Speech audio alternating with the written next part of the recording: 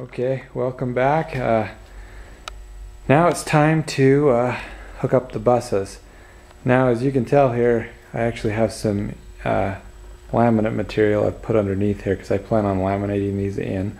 Um, so I had to lay that down before I hook the buses up, otherwise it's going to be pretty hard to pick up the, all these cells and lay them on top. So I've got them kind of laid out how I want them um, in uh, the four rows. Uh, got the bus wire over here all cut. You're not going to be able to see this very well. Uh, basically, yeah, I don't put the bus wire on there. Uh, so what I'm going to do is I'm going to put the uh, the junction box. I'm going to put this junction box right here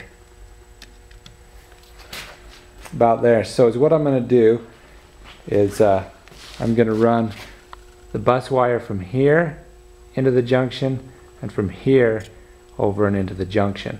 So in order to do that, so what I'm going to do is basically you'll have, I got to resolder that one down. Um, you'll have, this will be our positive that'll go into there. It'll go down the string. I'll bust those two together. I'll come back up here and then I'll bust from here all the way over to this one and then I'll go down that one over and up this one and then this will go in and be the negative. Uh, so that's how I'm going to solder the buses together. I can't really record it and you won't be able to see very well. So anyways all I do is I cut those bus wires to the length lay them on there get the solder hot. I uh, just touch it on there for a second. They stick pretty good. They're solder on both the bus wire and the uh, uh, the tabbing wire that's on those cells. So anyway, that's how I'm going to do it. And then once I'm done with that, I'm going to lay, I'm, I'm, not going to have this junction box here yet. Um, I'm going to lay another sheet of laminate on top of there. Uh, put a piece of uh, plastic backing on there and uh, put a then I'm going to put a, a, blanket or something on top of that. Uh, put a, a, garbage bag around the whole thing, pull a vacuum, and I'm going to put it in an oven I'm going to build. Uh, so that'll be an interesting video when we when we get that together.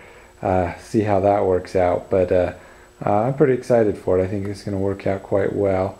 Um, anyway, that's the that's the tabbing, and uh, I'll do the other video when I get the when I get the tabbing done and the oven made. Okay, I thought I'd show you this now that I got it tabbed, or not tabbed, uh, the bus wires soldered on. Uh, you can see I, I connected, well, let's follow one route here. Uh, we start here with the positive end. It'll go down.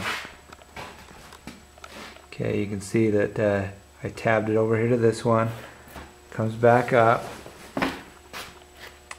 And then this one will go all the way the whole length to this one, the end one. Comes down here. Uh, these two are tabbed together. And uh, then it comes right back up here and uh, out the negative. Uh, those two that are coming out there, uh, I'm going to have to cut holes through the, the top laminate and plastic and uh, stick those up through. So once I have that done, I just have to solder them onto the junction box.